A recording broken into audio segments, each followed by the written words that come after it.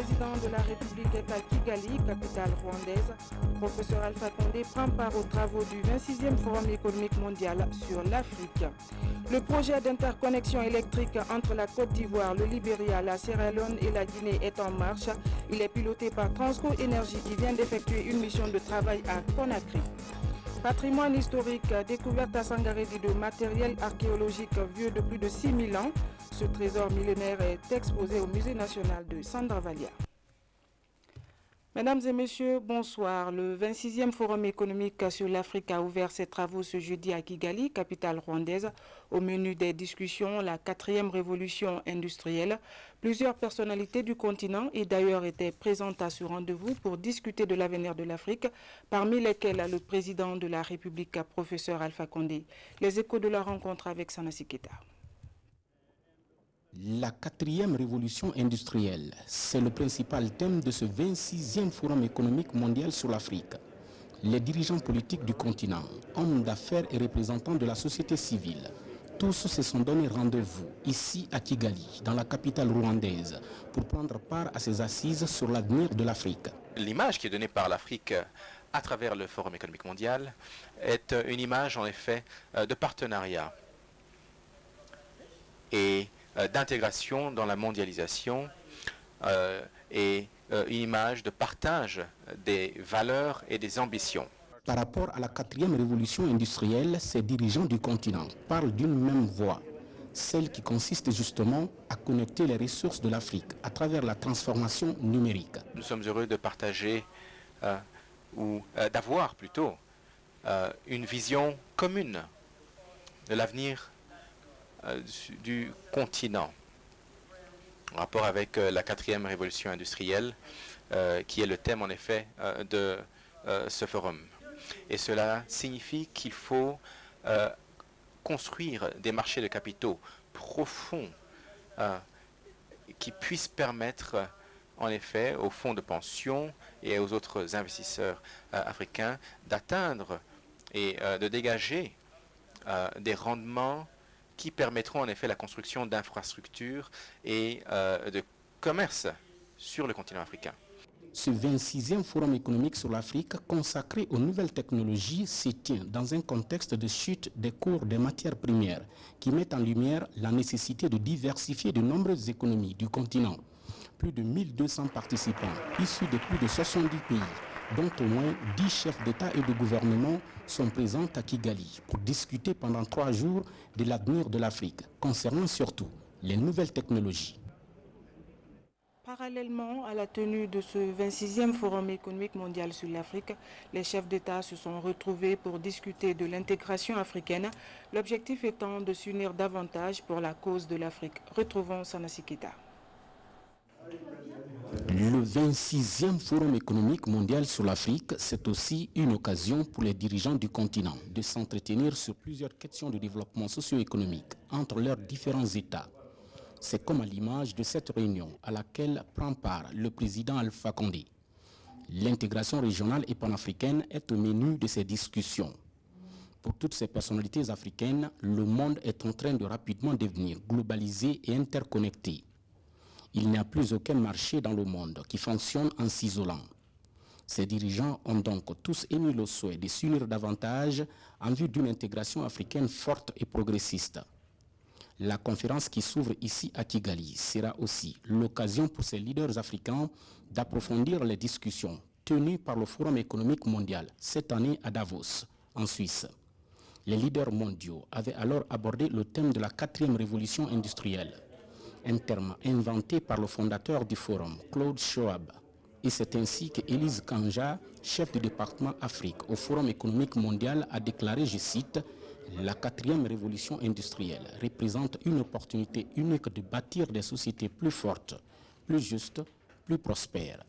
Mais cela ne pourra se faire qu'à travers des institutions fortes, une meilleure intégration régionale et des investissements dans des secteurs clés tels que les infrastructures, l'éducation et l'industrie.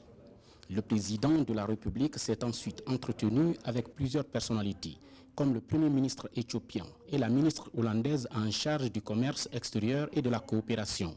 L'énergie, les infrastructures, la santé, l'éducation et l'agriculture sont des sujets importants qui ont été évoqués au cours de ces différents entretiens du chef de l'État avec Aïlé Mariam Dessalem et Liliane Ploumem.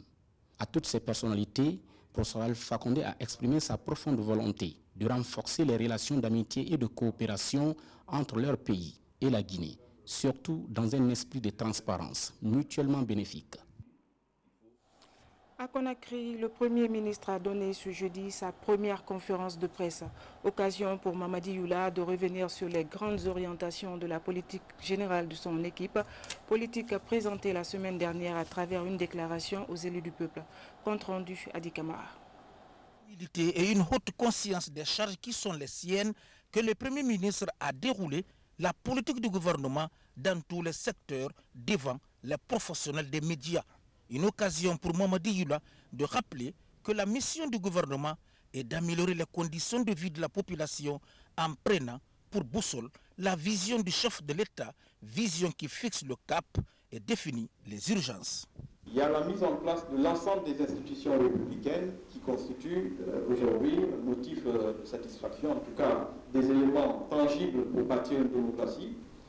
Nous avons la réforme de la justice, qui est aussi une avancée, une des très grandes avancées du premier mandat. La réforme du secteur de la justice, pour qui se rappelle du contexte dans lequel on sortait euh, en fin 2008 et des deux années euh, de transition où on était sous la junte militaire et sous sanctions internationales, au banc de la communauté internationale.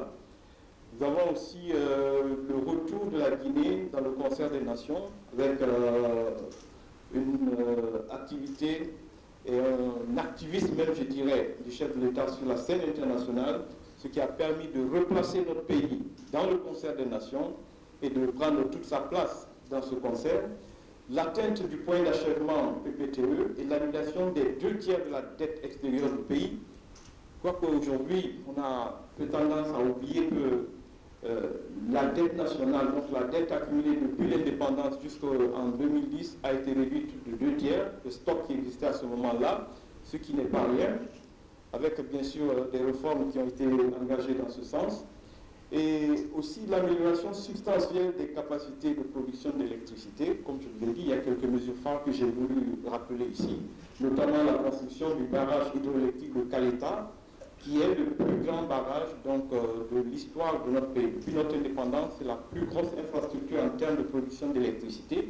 Pour qui sait le problème crucial que représentait l'électricité, le manque d'électricité, j'allais dire, tout au long des années d'indépendance de notre pays. Ici, le Premier ministre Mamadi Yula est revenu plus amplement sur le bilan du mandat du professeur Alpha Condé. Les activités qui ont été menées au cours des 3-4 derniers mois, vous avez la conclusion satisfaisante des 6e et 7e revues avec le Fonds monétaire qui permet à la Guinée de mobiliser notamment les financements extérieurs pour faire face aux besoins pressants d'investissement, euh, des investissements publics notamment. Le chef du gouvernement a également fait un bref aperçu sur le grand défi à relever en termes de croissance économique. En 2015, la croissance économique a été nulle. Pourquoi nulle? Parce que nous sortions de deux années extrêmement difficiles dues à l'épidémie de maladie à virus Ebola. Nous avions un manque à gagner sur les recettes euh, fiscales, enfin les recettes fiscales y compris et autres, qui représentaient presque 2900 milliards. Sur le budget de 2015, il y a eu un manque à gagner de 2900 milliards. Donc, c'est autant d'argent qui n'ont pas permis de réaliser un certain nombre de programmes au cours de cette année-là. Nous avons aussi, on peut signaler aussi le manque de sur les recettes en débit qui euh, qui est estimé ici à 150 millions de dollars. Et le report de plusieurs centaines de millions de dollars d'investissement dans différents secteurs et notamment dans le secteur minier, puisque là je, je parle en pleine connaissance de cause et aussi quelques évolutions récentes qui ont eu un impact plutôt négatif sur l'activité économique dans notre pays. À cela, je veux rappeler par exemple la baisse des prix des matières premières. Pour vous donner une idée, parce que je sais peut-être que cette question reviendra, il faut savoir que le prix de la tonne de minerai de fer est passé de 187 dollars en février 2011 à 39 dollars en décembre 2015. Crois que ça, ça répond à énormément de questions sur un certain nombre de projets. Enfin, on a aussi la hausse, euh, la hausse du dollar sur le marché international. Après plusieurs années de stabilité du taux de change du dollar, qui tournait autour de 7000 francs guinéens pour un dollar, en l'espace de quelques mois, en moins d'une année, nous sommes passés de 7000 à environ 9000 francs guinéens. Suite donc à cet exposé, les journalistes ont posé plusieurs questions relatives aux activités de Rio Tinto en Guinée, recrutement à la fonction publique, panier de la ménagère, sécurité alimentaire, climat des affaires en Guinée, des questions que le Premier ministre Mamadi Yula a tenté de répondre avec satisfaction. Vous suivrez l'intégralité de cette conférence de presse après ce journal. Intégration sous-régionale, le projet d'interconnexion électrique entre la Côte d'Ivoire, le Libéria, la Sierra Leone et la Guinée, piloté par Transco Énergie, se voit concrétisé de jour en jour. Pour la construction des postes et lignes de transport d'énergie, les sociétés candidates ont déjà effectué des visites de terrain. Celle chargée de la transmission est venue discuter avec la partie guinéenne la signature prochaine du contrat d'achat d'énergie entre les quatre pays. Reportage Nabi Kamara. Dans le cadre de l'interconnexion entre la Côte d'Ivoire, le Libéria, la Sierra Leone et la Guinée, le comité interministériel de suivi du projet prépare la signature du contrat d'achat d'énergie.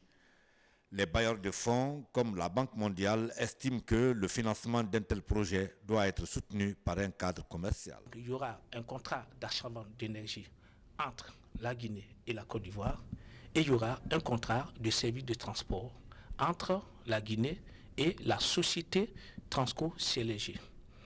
Donc nous sommes venus pour faire un peu le point de, des documents qui ont été adoptés avec la Guinée, éventuellement leur fournir quelques clarifications si besoin est, avant les dernières négociations, comme le dit la dernière ligne droite, qui devrait donc se situer à Abidjan du 17 au 20 au mai prochain.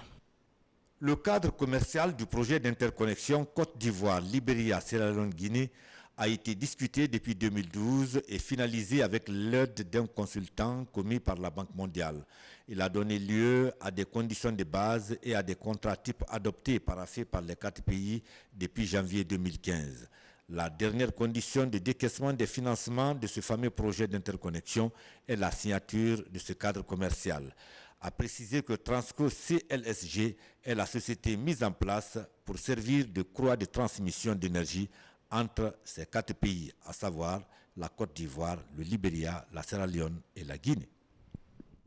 À Kindia, les autorités mettent les bouchées doubles pour accélérer le développement socio-économique de la localité. La préfecture vient de tenir son conseil administratif au cours duquel les grandes priorités de 2016 ont été définies. À l'issue des travaux, un budget de 2 milliards est annoncé pour soutenir la croissance dans cette partie de la Guinée. Compte rendu, Kernos Mandialo. Les débats ont duré 48 heures, deux jours d'échange autour des questions de développement de la préfecture de Kindia, avec une présence remarquée des différents intervenants dans l'exécution des projets de développement dans la zone. Le conseil administratif 2016 de Kindia a permis de dégager des stratégies et moyens de mise en œuvre des programmes d'intérêt public. Aujourd'hui, nous avons fini euh, de faire le, PAI euh, pour les collectivités, mais faire une projection qui doit aussi prendre en compte les actions que la préfecture elle-même doit faire. Un peu plus de 2 milliards de francs guinéens sont retenus cette année au titre du budget en recettes et en dépenses. Une importante partie est dédiée à la modernisation des infrastructures. Le bloc annexe de la préfecture va être, va être euh, repris pour que les services qui ne sont pas encore euh, logés, pour que ces services puissent avoir des, bureaux décents de travail. en même temps, euh, de concert avec d'autres acteurs, nous nous décidons de, faire euh, de ce bâtiment un musée. Un musée et voir si avec l'Armatan nous pouvons réaliser le, contrat médiathèque, on va le faire. Ça c'est pour le bien de toute la population de Kindia, mais surtout des élèves de Kindia. Les différents responsables administratifs sont interpellés pour une gestion rigoureuse des fonds publics qui seront mis à leur disposition. Rappel est fait pour le maintien de la propreté dans la ville, de la vie des participants, ce conseil administratif aura tenu toutes ses promesses. Avant de poursuivre ce journal, je reçois un invité. Il est le conseiller chargé du développement rural à la présidence de la République. Monsieur Sekou Sangari, bonsoir. Bonsoir, madame. Merci à vous d'avoir répondu à notre invitation. Vous allez bientôt lancer une vaste campagne de plantation de l'anacarde. Pourquoi ce programme? Le programme national de développement de la culture de la filière de l'anacarde en Guinée s'inscrit en droite ligne euh, des instructions de Monsieur le Président de la République pour exploiter le gisement important que représente la filière de l'anacarde en Guinée. Et dans ce cadre, il y a eu déjà, il y a un mois, une première rencontre qui s'est tenue à Conakry, à l'issue de laquelle réunion, des mesures stratégiques fortes ont été prises pour euh, interdire toute exportation euh, par la voie terrestre de l'anacarde de Guinée et autoriser les exportateurs à, euh, disons, commercialiser l'anacarde de Guinée et à l'exporter uniquement par Conakry avec un prix plancher qui a été fixé au minimum à 5 000 francs guinéens le kilo et aujourd'hui, dans tout le pays, le prix de cajou est largement au-dessus de 8 000 francs, quel 9 000 objectif, francs. quel objectif vous recherchez? L'objectif euh, en lançant ce programme de Monsieur le Président de la République, c'est pour accompagner l'effort des planteurs euh, d'anacarde en Guinée. Et dans ce cadre-là,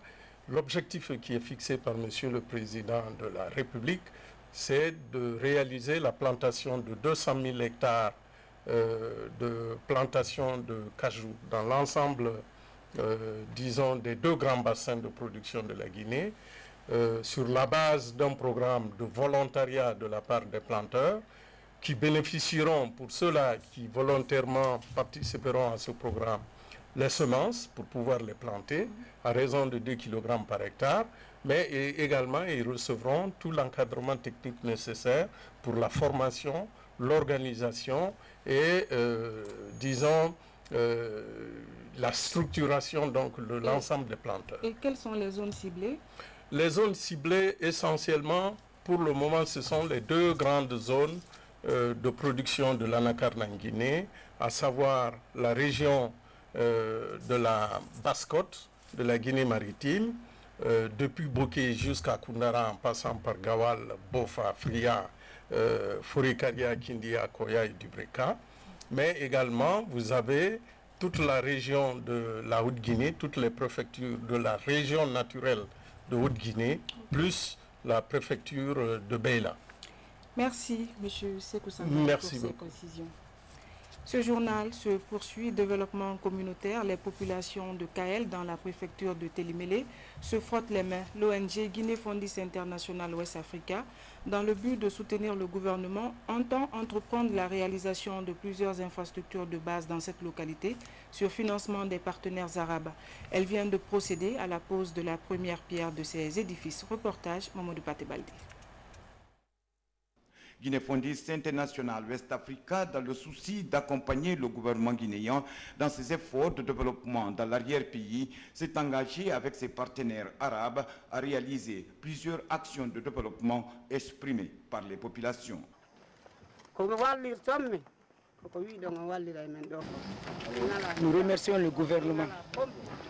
Nous remercions Guinée Fondis International. Car Kayel est dans le besoin. On a besoin des écoles, des postes de santé. On n'a pas de mosquée appropriée. Et vraiment, la population est grande. C'est un gros village. À Missira Centre, où le chantier de la commune rurale est en voie d'exécution, Guinée Fondis propose à côté d'autres infrastructures par le biais de l'entreprise Massi et Fils qui a déjà identifié les différents sites retenus pour les travaux. On est très engagé pour ce boulot, car Guinée Fondis International nous a fait confiance. Et on promet de faire tous nos efforts pour donner satisfaction à la population rurale de Missira Centre. Guinée Fondis International vient appuyer le gouvernement dans ses œuvres de désenclavement, dans ses œuvres de réalisation de certaines des mosquées, des écoles, des centres de santé. En un mot, le Guinée Fondis International vient aider la population à la base. Dernière étape, la sous-préfecture de Daramanyaki. Dans cette commune rurale, l'ONG envisage le toilettage de plusieurs infrastructures en souffrance et le reprofilage des 25 km de pistes reliant la localité et les différentes zones de production. En attendant, Guinée-Fondis International West Africa se prépare pour le déploiement des superviseurs de terrain vers les différentes zones d'intervention afin de faciliter le démarrage, le suivi et l'exécution correcte des travaux. Et puis les partenaires au développement et les acteurs locaux de la commune urbaine de Bofa discutent autour de la mise en place d'un plan d'action de mobilisation des ressources. L'idée est de l'ONG La Charente Maritime Coopération. Le projet prendra en compte tous les aspects liés à la mobilisation des ressources pour impulser le développement local de Bofa. Nous y reviendrons. Renforcement des capacités des cadres des ministères de l'Environnement et des Mines. Il est question de les outiller en technique de suivi de plans de gestion environnementale et sociale des projets miniers. Explication Abdoulaye Diallo. Je reviens sur cet élément, renforcement des capacités des cadres des ministères de l'Environnement et des Mines. Il est question de les outiller en technique de suivi de plans de gestion environnementale et sociale des projets miniers. Explication Abdoulaye Diallo. Les défis qui interpellent les acteurs des projets miniers demeurent le recasement des populations susceptibles d'être déplacées. Le constat démontre que cette problématique se trouve dans la formulation des projets miniers. Pour mettre un terme à cette préoccupation, des cadres du ministère de l'Environnement et celui des Mines renforcent leurs connaissances sur la question. En termes de, de qualité environnementale que doivent euh, impérativement avoir les projets miniers, eh bien, il, faut, il faut avoir conscience des, des obligations euh, économiques des projets miniers par rapport aux exigences des marchés. Pendant cette rencontre, il est question de doter ces acteurs d'outils nécessaires leur permettant de réaliser un meilleur suivi des plans de gestion environnementale et sociale des projets miniers. À la fin des travaux, je m'attends à ce qu'ils s'approprient des formations qu'on leur a données ici, euh, parce que ce n'est pas, il n'y a pas beaucoup qui maîtrisent ces aspects, pour qu'au moins qu'on arrive à faire un suivi comme ça. L'organisation de cette formation apparaît comme une des solutions pour la protection de l'environnement. Et puis ce samedi 14 mai, la télévision nationale fête ses 39 ans. De nouveaux programmes sont annoncés pour le bonheur des téléspectateurs. Le directeur général de la RTG Coloma entend faire de la télévision nationale un médium de proximité. Yamoussa Sidibé est l'invité de Kamara Aboubakar dans l'entretien de Coloma. Suivez un extrait de l'émission. Nous avons des téléspectateurs qui comptent sur nous, qui euh, veulent rester sur leur chaîne, la chaîne nationale. Donc il est de notre devoir de travailler pour euh, leur donner ce qu'ils attendent, pour faire en sorte qu'ils restent sur la télévision guinéenne parce qu'ils y trouvent ce qu'ils cherchent, qu'ils n'aillent pas ailleurs, qu'ils restent sur la télévision nationale. Dans ce sens, il faut que nous travaillions, que toujours nous travaillons pour faire en sorte que la concurrence qui s'annonce avec les autres télévisions soit tenue. C'est dans ce sens qu'aujourd'hui, euh, à l'occasion de ce 39e anniversaire, nous avons décidé, nous avons voulu, avec tous les travailleurs de la RTG, offrir quelque chose de nouveau, offrir une autre chose, une, face, une autre euh, image de la télévision, une autre image de la Guinée aux téléspectateurs. Dans les faits, qu'est-ce que vous allez offrir? Et puis, ce communiqué, la direction générale de la RTG Coloma a l'agréable plaisir d'informer ses fidèles téléspectateurs et auditeurs qu'elle organise le samedi 14 mai 2016 le 39e anniversaire de la création de la télévision nationale. Cet événement sera mis à profit pour rendre hommage aux journalistes et techniciens qui ont contribué à bâtir la radio et la télévision nationale. À cette occasion, un cocktail sera offert dans la cour de la RTG Coloma entre 11h et 14h ce samedi 14 mai 2016. Sont cordialement invités à cette cérémonie les membres du gouvernement, la présidente de la Haute Autorité de la Communication, le gouverneur de la ville de Conakry, les anciens ministres de la Communication, les anciens directeurs généraux de la RTG, tous les anciens travailleurs de la RTG, toutes les associations de toutes les associations et journalistes de la presse nationale, l'ensemble des travailleurs de la RTG Coloma et Boulbiné, le chef de la délégation spéciale de Ratoma, le chef du quartier Capororail, l'imam de la mosquée Capororail. L'animation sera assurée par le célèbre Bimbea Jazz national. Tous à Coloma ce 14 mai 2016 pour le 39e anniversaire de la RTG signé Yamoussa Sidibé. Santé, la distinction L'étoile d'or initiée par GH Piego est attribuée cette année au Centre médical communal de Coléa. Ce CMC fait partie des 15 structures sanitaires qui se sont distinguées cette année. Le projet HCB a érigé à cette occasion le symbole de matérialité. Adiatoubari. Le centre médical communal de Coléa est désormais sacré du prix Étoile d'Or. L'établissement sanitaire fait partie des 15 hôpitaux lauréats de Guinée, un prix obtenu par le biais d'un concours qui évalue les structures sanitaires en termes d'offres de services de santé de haute qualité. L'évaluation est basée sur trois critères principaux. Le CMC a pu atteindre le niveau de performance désiré dans les domaines de soins obstétrico-néonatal d'urgence SONU, la planification familiale et la prévention de l'infection. C'est pour moi le lieu de remercier tout le personnel du CMC pour les efforts fournis et contribué à l'atteinte de la performance, faisant de notre CMC une structure de santé offrant les services de qualité avec une distinction décernée à cette occasion. Nous tenons beaucoup à la qualité des services. Tout ce que nous avons comme activité au ministère de la Santé et les différentes parties prenantes tourne autour de cette qualité. Parce que si les prestataires ne sont pas satisfaits, ça veut dire que tout ce que nous faisons est voué à l'échec. Dans la cour du centre médical communal de Coléa, le symbole, l'étoile d'or est érigé. Cela est rendu possible grâce à l'assistance du projet HC3. Notre présence en Guinée, c'est la promotion des services de qualité, la promotion de, l'étoile d'or, euh, l'un des volets de notre, de notre projet. Nous quand on utilise tous les canaux de communication, ce sont nos agents communautaires qui, vont aller dans la communauté pour promouvoir non seulement les services de santé, mais surtout l'étoile d'or. Le projet HC3 est spécialisé dans la communication pour le changement de comportement des communautés. Un atout qu'il met à profit pour faire la promotion du symbole étoile d'or à travers une caravane. Durant cette journée, elle a sillonné les quartiers environnants du CMC de Coléa en vue de donner de larges informations sur l'offre de soins de qualité qui a permis de distinguer cette formation sanitaire du pays. La journée internationale de l'infirmière est célébrée dans le monde le 12 mai de chaque année. Une journée instaurée en 1820 pour magnifier la naissance de Florence Nightingale, considérée comme la fondatrice des soins infirmiers. Elle est commémorée cette année sous le thème « Les infirmières, une force pour le changement, pour des systèmes de santé plus résilients ». Rose Pocho. En salle des soins intensifs de l'hôpital sino-guinéen, les infirmiers sont affairés au nombre d'une vingtaine, ils prennent soin du malade. Leur rôle, répondre aux besoins instantanés des patients. Depuis plus de 20 ans, je suis infirmière. Nous sommes là, nous assistons les malades dans les moments difficiles, on rencontre des moments de stress, de joie. Quand le malade est guéri, c'est une fierté pour nous, pour le service. Le médecin et l'infirmier travaillent toujours en étroite collaboration.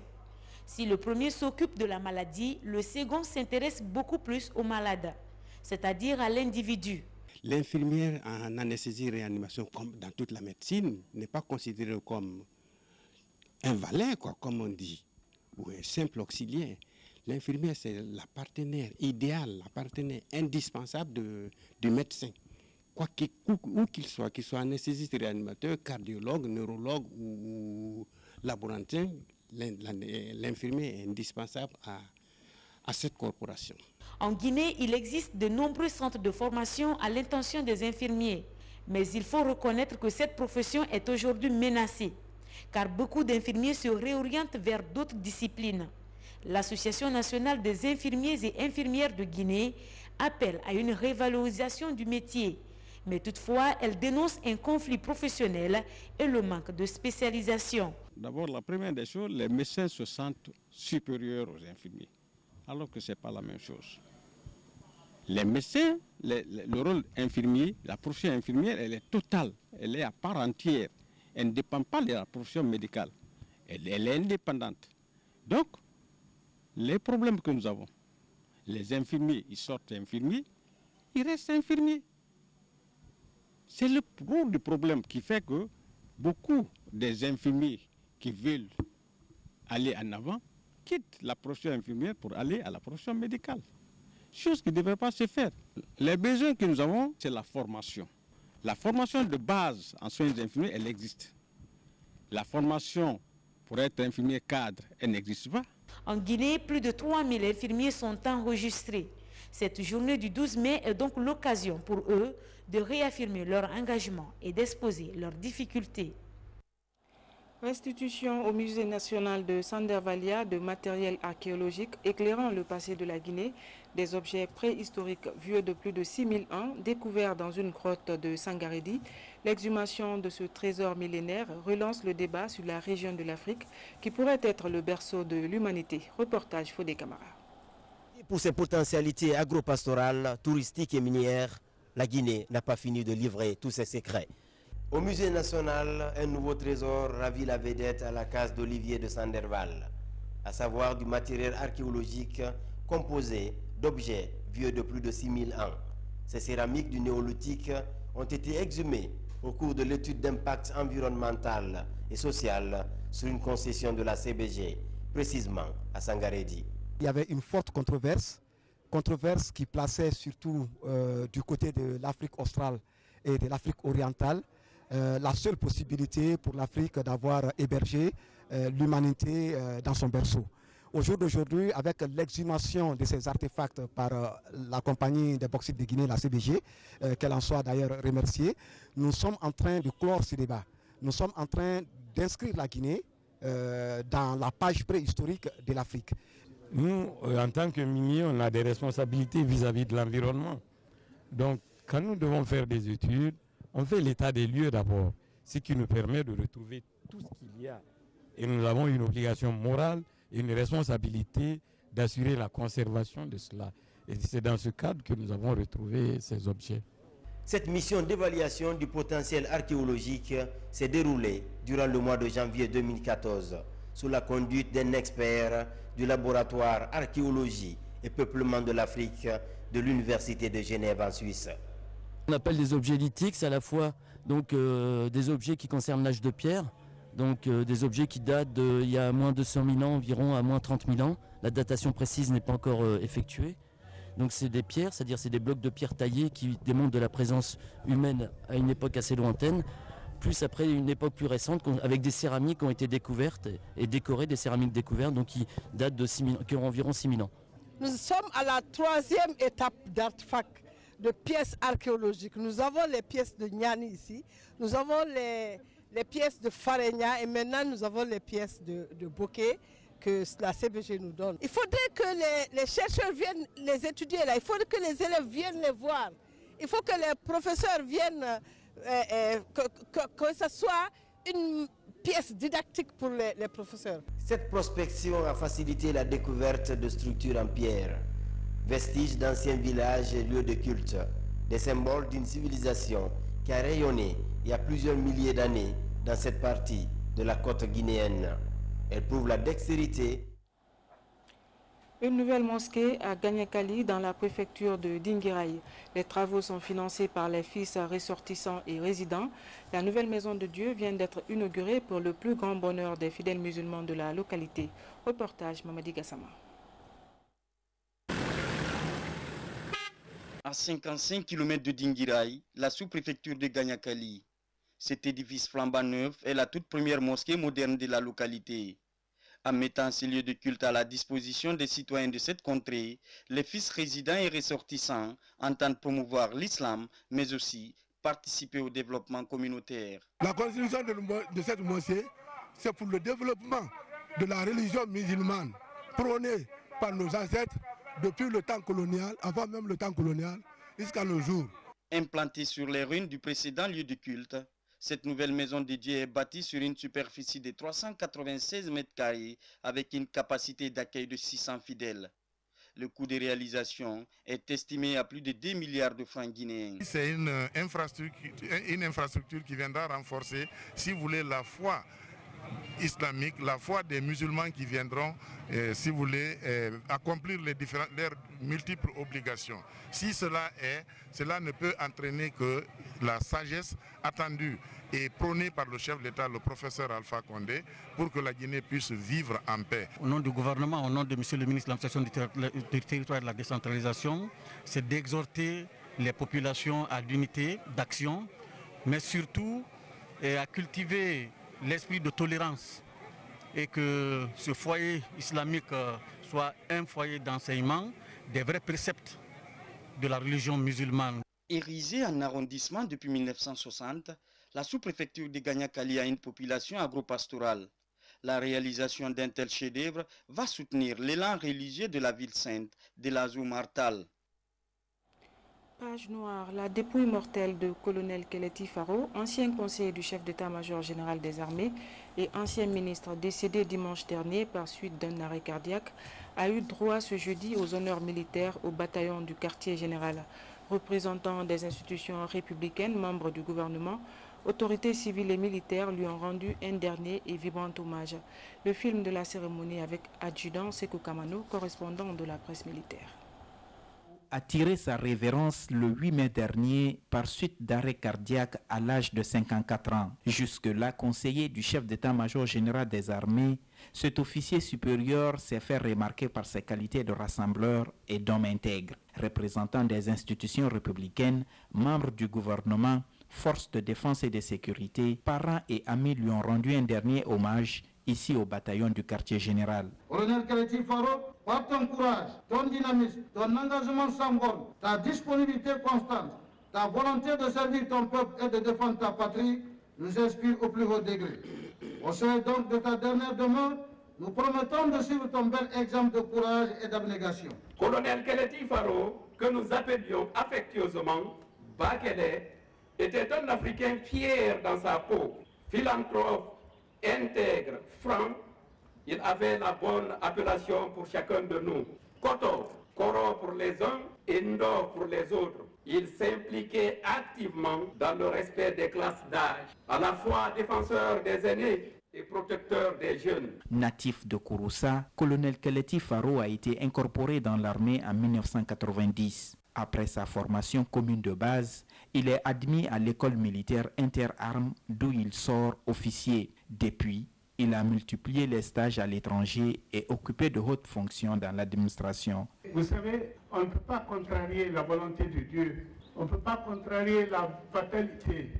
C'est pourquoi, lieu dans sa sagesse, tout ce qu'il pose comme acte, nous le remercions, nous l'exhortons, parce que c'est lui le Tout-Puissant, c'est lui qui a cette force de poser des actes de ce genre. Ancien ministre secrétaire général à la présidence et à l'agriculture, colonel Keleti Faro rejoindra demain vendredi sa dernière demeure dans son Kouroussa natal. Il laisse derrière lui deux veuves et quatre enfants.